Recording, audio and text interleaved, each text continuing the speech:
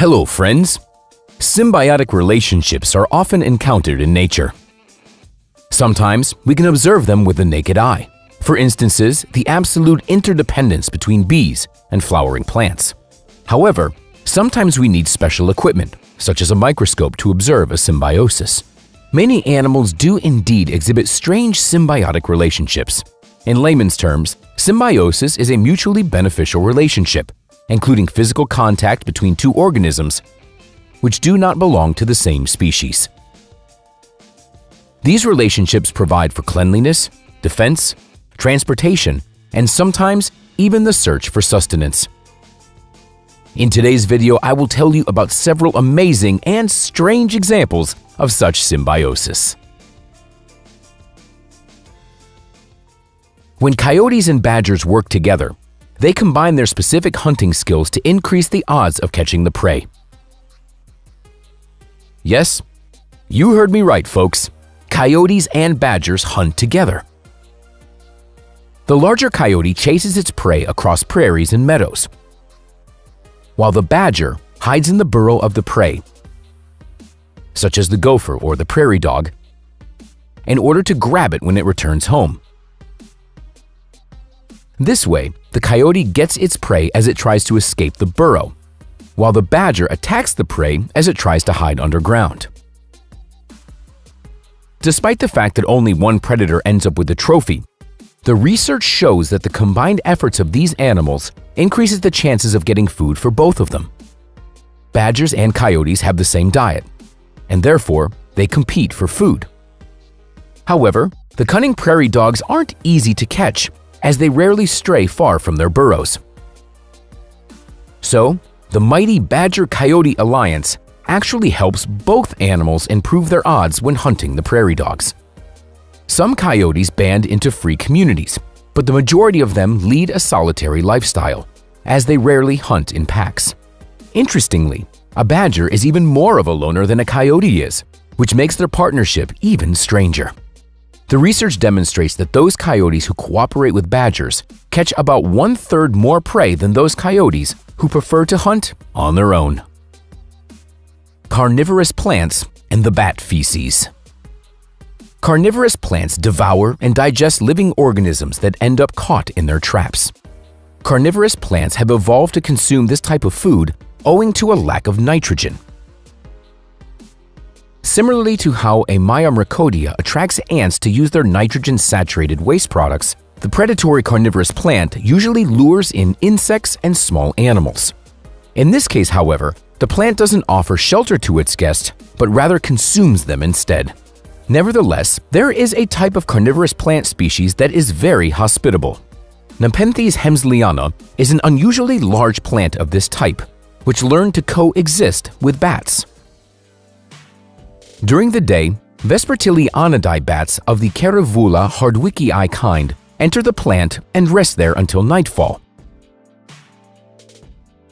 Contrary to expectations, the plant doesn't digest their guests, but are actually happy to shelter the bats to recycle their feces later.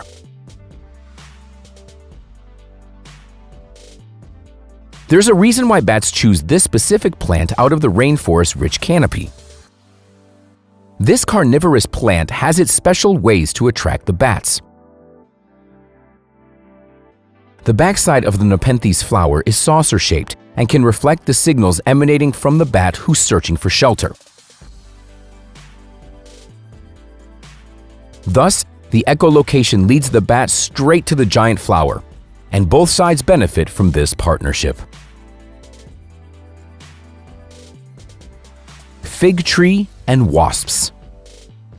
If you ever saw a fig tree, or if you like figs, you're probably aware of the fact that wasps love this plant too,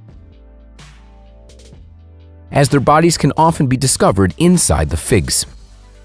The relationship between these insects and fig trees started 60 million years ago at the very least, so it's not like the wasps get in our way of enjoying figs, but on the contrary, we are the invaders of their comfort zone. By the way, a fig is not exactly a fruit, but rather a hollow, rounded structure composed of a multitude of flowers. As the fig matures, it emits a smell that attracts the pregnant wasps from the family Chalcidoidae. The insect must literally burrow its way inside the fig. This is actually harder than it sounds, and the wasp often ends up tearing its tentacles and wings in the process. As soon as the wasp gets inside, it lays eggs there and also brings in pollen from other fig trees. Once the mission is accomplished, the wasp dies. If a fig tree doesn't get pollinated, it hibernates and ultimately dies, together with the wasp eggs. This is a cruel way that evolution has designed to ensure that wasps pollinate fig trees as the lives of all wasp eggs depend on it. If pollination does happen, then the fig eventually splits and a new generation of wasps hatches. At first, they feed on the fig pulp. Both male and female wasps grow inside the figs. Male wasps collect the pollen for female wasps and dig their way out of the fig. Males succeed in bringing pollen from the other plants before female wasps break free and go out in search of a new fig tree to lay their eggs in. Thanks to this cycle, both plants and insects continue to thrive.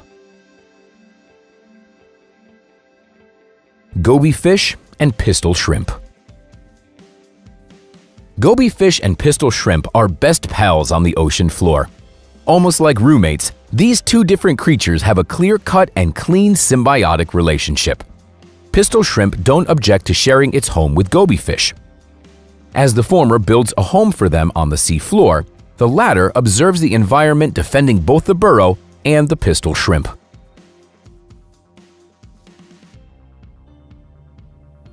The goby fish has excellent eyesight and can easily spot an enemy, giving an advanced warning to the pistol shrimp. Thus, these two creatures share a mini cave under the sea and help each other out.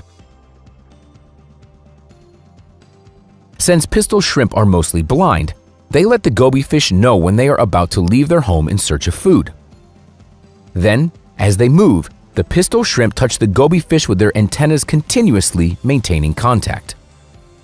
Pistol shrimp populate shallow seabeds, and it is important for them to maintain symbiotic relationships with the goby fish. It has been noted that the goby fish even collect seaweed and other food for their roommates.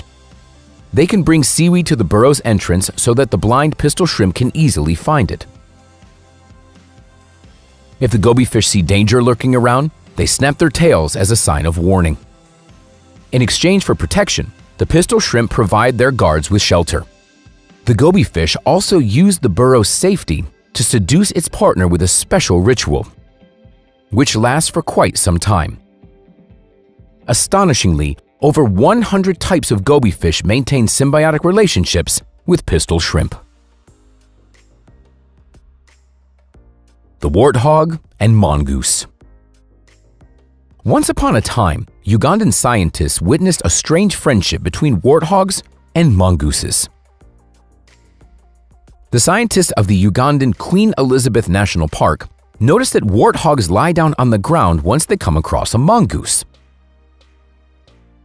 Thus, warthogs are treated to a fastidious cleanup as sharp-toothed mongooses collect insects, and especially mites off their skin.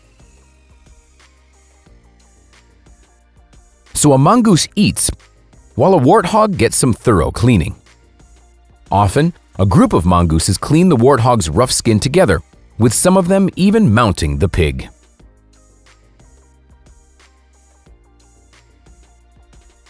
The African Starling African starlings spend a great deal of their time sitting on elephants, rhinos, zebras, and African buffaloes where they eat mites, picking them off their host's skin. This diet provides the African starlings with all the nutrients they need. Besides, big animals are elated that the birds free them from the parasites and mites. Scientists believe that this relationship started a very long time ago as it seems that the starling's beak was created exactly for the purpose of deep penetration into the animal's skin to search for food there. However, the relationship between African starlings and their host animals aren't always mutually beneficial. When starlings remove the pest from the animal's skin, they also suck some blood from the open wounds. That's another way to obtain nutrients for them, but it also makes the birds into parasites. This practice might lead to infection of the host animal, blurring the symbiotic nature of the relationship between the birds and their host animal. The starlings aren't always efficient either. Sometimes they ignore mites if they aren't filled with blood, which is the main nutritional component for birds.